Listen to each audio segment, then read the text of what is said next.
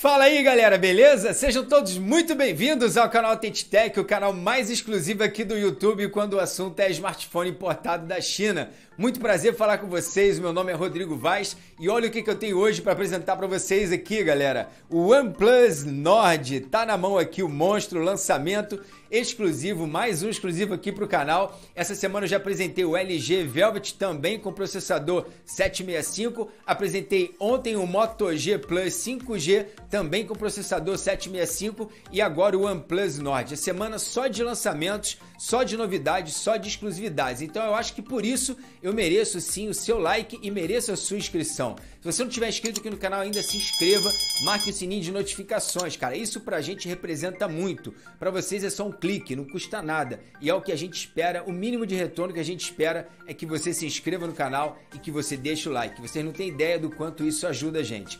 Bom, galera, o que vocês acharam do novo cenário aqui desse fundo colorido? Curtiram esse ou gostaram mais do anterior com fundo branco? O cenário mais votado por vocês aqui nos comentários é o que eu vou adotar de hoje em diante nos próximos vídeos. Então deixa aí hashtag fundo 1 para o fundo branco ou então hashtag fundo 2 para esse colorido aqui. Vamos ver qual que vocês preferem e a partir de então eu vou começar a utilizar ele direto. Esse rapazinho aqui tem configurações muito boas, mas vamos dar uma alfinetada aqui na OnePlus de leve, tá gente?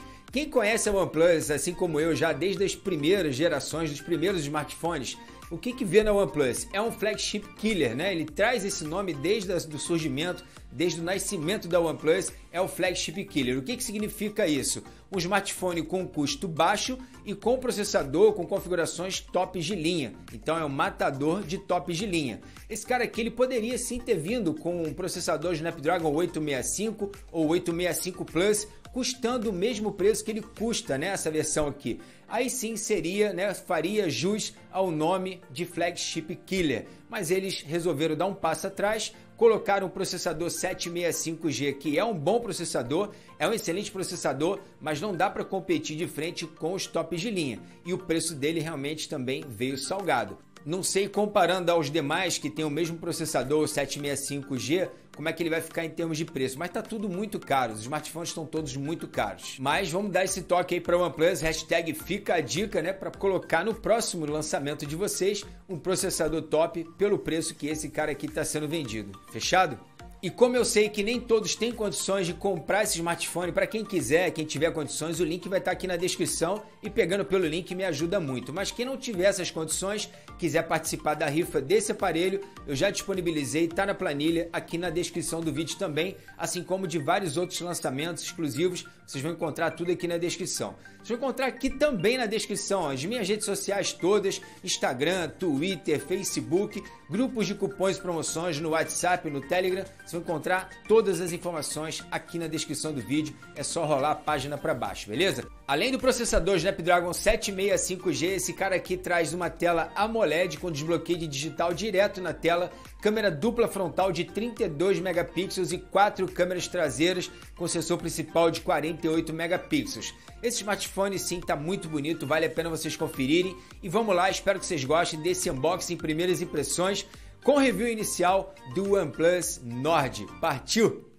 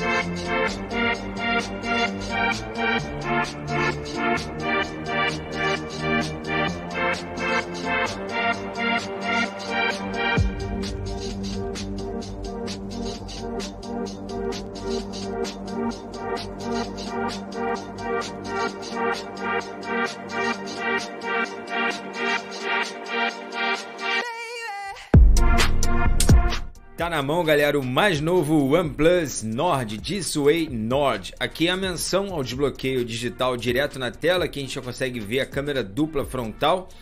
Vamos remover aqui esse plástico para a gente poder conhecer melhor o aparelho. No 3 a gente vai virar e ver essa traseira aqui, hein? Bora lá. 1, 2, 3 e... Tá aí, moleque. Olha que azul, cara. Lindo, diferentaço. A OnePlus chamou esse azul aqui de Blue Marble. Não sei porquê, enfim, qual é a menção. E muito lindo, cara, muito show. Que traseira linda, que traseira linda. Deixa eu retirar esse adesivinho. A posição das câmeras aqui na vertical ficou muito bom também. Essa câmera aqui de cima, a primeira câmera é uma câmera de 8 megapixels ultra wide angle. A segunda câmera que é a principal de 48 megapixels, sensor Sony IMX 586, inclusive a mesma câmera que vem equipando o OnePlus 8. A terceira câmera de 5 megapixels para fazer o desfoque de fundo nas fotos e a quarta câmera de 2 megapixels para fazer fotos macro. Aqui a gente tem um flash dual tone logo ao lado e no centro do aparelho a logo da OnePlus, muito bonita. E aqui embaixo também OnePlus e algumas certificações logo abaixo aqui do nome. Cara, que aparelho lindo, sendo bem sincero com vocês, que aparelho lindo.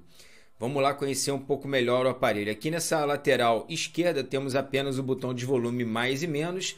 Na parte superior, microfone redutor de ruídos. Aqui na parte direita, aquela chavinha onde você muda o perfil de áudio, né, para vibrar, silenciar ou tocar. E logo abaixo o botão Power, mais nada.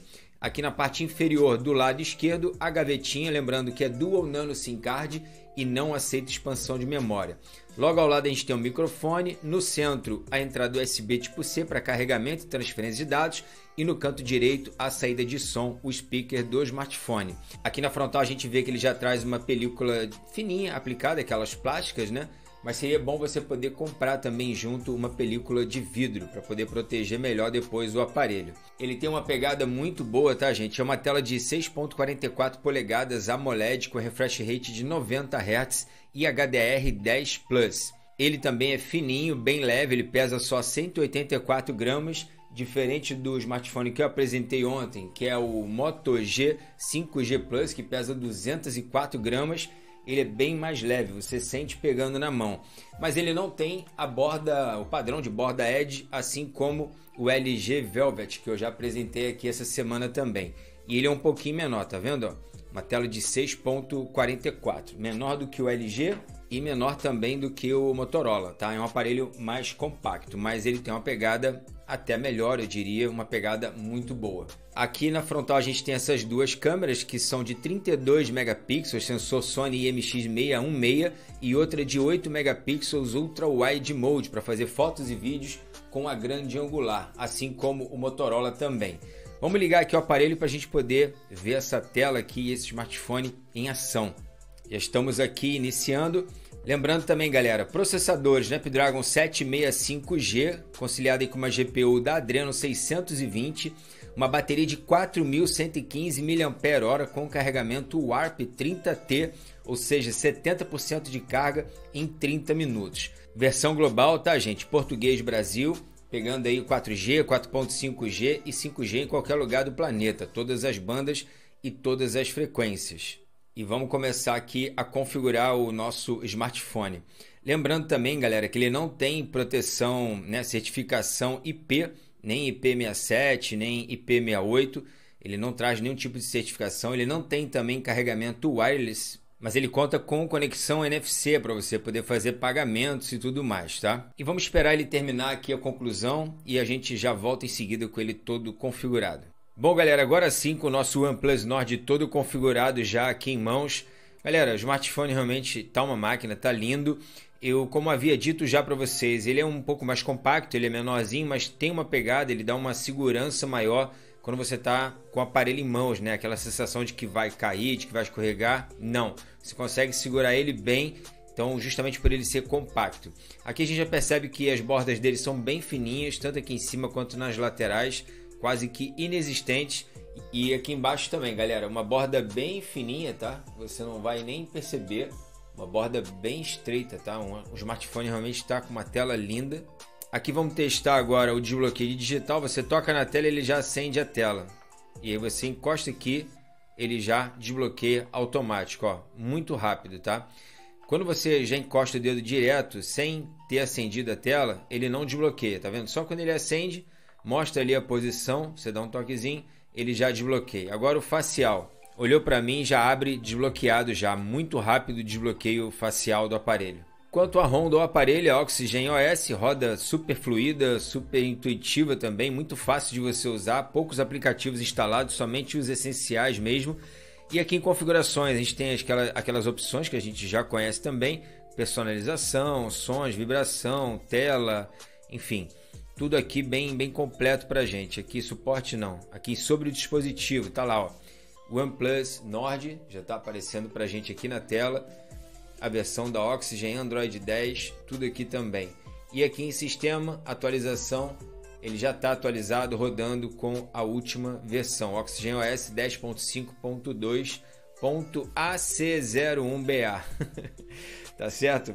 Enfim, todo mundo que já teve experiência, já teve oportunidade de utilizar a Oxygen sabe que é uma das melhores interfaces que já criaram, que já desenvolveram para smartphones. É muito fluida e muito boa para você utilizar. Aqui ele traz alguns aplicativos Google, né? Aqueles gaps que a gente já conhece. Aqui nessa pastinha da OnePlus tem a, o aplicativo da comunidade, esse para copiar os arquivos do, do, do smartphone antigo que você está migrando, o Game Space e a temperatura também, além das configurações. Netflix também já vem instalado de fábrica nele. E vamos abrir aqui o Antutu para vocês poderem dar uma olhada, uma conferida e a gente poder ter uma ideia aqui, galera. 328 mil pontos com o Snapdragon 765G. Mas, Rodrigo, por que, que o do Motorola deu 290? Acho que foi isso. Do Velvet deu 300. Por que essa diferença? Esse smartphone aqui ele tem 8 GB de memória RAM, enquanto os outros dois ali que eu falei tem 6 GB. Isso faz diferença quando a gente está testando aqui o benchmark do aparelho. Então, esse aqui é 8 de RAM com 128 e isso faz total diferença. Vamos testar agora aqui a case né, do smartphone. A case que a OnePlus manda é uma case sempre com muita qualidade, uma case muito boa, muito, muito bem feita, né? De, de qualidade realmente, a palavra é essa. Essa daqui veio um pouco diferenciada, texturizada, mas protege muito bem as lentes, não só aqui da câmera na parte traseira, como também a tela, tá gente? Ó, ela é mais alta, né? mais elevada do que a tela, então protege muito bem a sua tela. Tem essas bordas aqui nas esquinas já mais elevadas, tá? É uma case realmente diferenciada das demais aí do mercado. Vamos aqui agora fazer o teste de áudio para a gente ver a qualidade de som dele. Deixa eu aumentar aqui o volume agora. Porra, som alto, hein? Vamos ver a qualidade aqui, a resolução 1080p. Vamos girar aqui a tela. Deve estar desativada aqui a rotação da tela. Aqui, ó, giro automático. Pronto, girou. Quando a gente aplica o, a pinça, ele já vai aí para a tela toda, ok? Isso aqui também eu achei que do Motorola ficou mais bonito, que tinha só dois furinhos das câmeras, não tem essa pílula, né? essa, essa barrinha aqui. Mas nem por isso também tira a beleza do aparelho não. Deixa eu ver o brilho de tela aumentar ele aqui, pronto. Agora sim. Vocês poderem ver aí, ó, som mono, ok? Só sai aqui embaixo, mas um som muito alto, gente. Um som muito forte e muito satisfatório também. Gostei demais da qualidade de som e do volume também do OnePlus Nord. Muito top. Vamos baixar aqui um pouquinho agora para a gente sair. Vamos aqui agora rodar o PUBG para a galera poder ver também. A gente já sabe que o PUBG no Snapdragon 765G, por enquanto, ele não está rodando no HDR, somente em HD, mas isso é uma atualização que a Tencent Games tem que fazer por conta do processador ser um processador novo, ok? Mas ele suporta sim isso. Muita gente acha, ah, mas não suporta, como é que pode? Não, suporta sim. A Tencent que tem que atualizar isso e liberar essa nova configuração para aplicar nos smartphones que rodam com esse processador. Vamos ver aqui nos ajustes para a gente confirmar o que eu havia dito aqui, ó, gráficos HDR.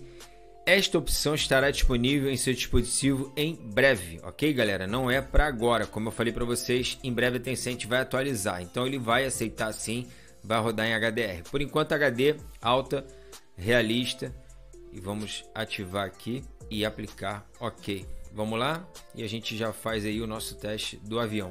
Aqui aumentando o volume e vamos lá, ó. Estamos aí já no nosso aviãozinho rodando, ok? Sem nenhum lag, sem nenhum atraso. Como a gente percebe sempre aqui em todas as opções de smartphones com 765G, ok? Não vai ter problema nenhum de lag, de atraso, de engasgo, nada, nada, nada, nada. Rodando liso, liso, liso, beleza? Esse smartphone tem proteção Gorilla Glass 5 na frente e na traseira também, aqui é de vidro e as laterais dele são todas de plástico, tá gente? Aparentemente esse, essa borda cromada parece metal frame, mas não é, é um plástico cromado aqui com uma aplicação, fica bem bonito, acabamento muito bom, muito premium, mas é de plástico, ok? Vamos aqui agora abrir as câmeras para a gente poder ver o aplicativo, também é o mesmo aplicativo que a gente já conhece da OnePlus, Aqui ó, lapso de tempo, foto panorâmica, câmera lenta, vídeo, foto, modo retrato, modo noturno e modo Pro para você ajustar tudo manualmente. Aqui vamos acessar as configurações aqui em cima, formato de foto, tela completa, ok? Resolução de vídeo, resolução máxima aqui ó, 4K, modo cinema, 30 FPS. O engraçado aqui é que na câmera traseira ele filma na resolução máxima aqui, ó, 4K, modo cine, né? 4K 30 FPS. E a frontal filma a 4K 60 FPS. Olha que curioso isso, né? Mas deve, lógico, ter uma qualidade maior esse modo cinema aqui da traseira, mesmo que seja a 30 FPS. Aqui a gente tem o Google Lens, aqui a, a foto Ultra Wide Mode, modo normal, zoom ótico de 2x, e zoom digital máximo de 10x. Aqui a gente tem a foto macro, super macro, né? Aqui 12 megapixels, 48 megapixels, você ativa e desativa. Enfim, vamos lá então, galera, rodar aqui algumas fotos e vídeos e a gente já volta em seguida.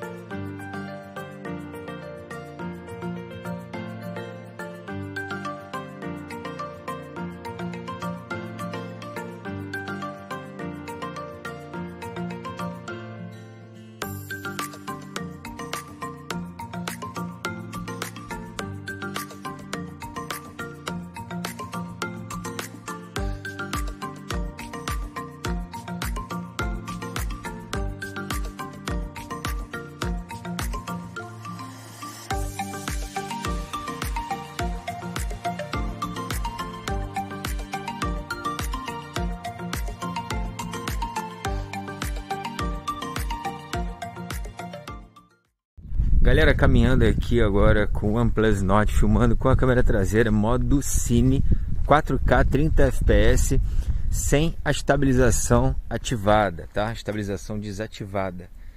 Vamos dar um foco aqui, muito rápido, muito bom foco. Vamos fugir aqui de novo. Tá aí, ó. Novamente. Muito bom, muito bom. Agora vou dar uma corridinha aqui. Só segurando com a mão direita, tá, gente? E a mão esquerda tá segurando o bolso por causa da chave. Só na mão direita, pronto. A corridinha básica, senão também eu canso muito, aí não dá. Vamos mudar aqui agora para ultra estabilização. Agora aqui, galera, ó, filmando com a estabilização ativada. Ele filma em 4K também, 30 FPS, só não tem a opção do modo cine, ok? Vamos dar uma corridinha aqui de novo pra gente ver, ó. Só a mão direita, tá? Vamos ver como é que ele estabiliza isso. Pronto. Tá bom. Fechou. HDR também. Trabalhando muito bem. Vamos passar para frontal agora. Aqui, galera, agora 4K 60 FPS na frontal. Olha que absurdo isso. HDR, ó, trabalhando muito bem muito show. Vamos ver essa estabilização. Vou dar uma corrida aqui de novo. Tô segurando o bolso com a outra mão. E vambora, só com a mão direita. E aí, será que tremeu muito? aqui não dá pra ver, não sei. Enfim, ó, a opção que eu tinha, achei que tivesse aqui da frontal, filmar com a Ultra Wide Mode, não tem não, tá gente? Ó, o HDR trabalhando muito bem lá. Não tem não, só para foto mesmo, tá? Para vídeo, pelo menos não atualizou ainda. E aí galera, curtiram as fotos e vídeos aqui do OnePlus Nord?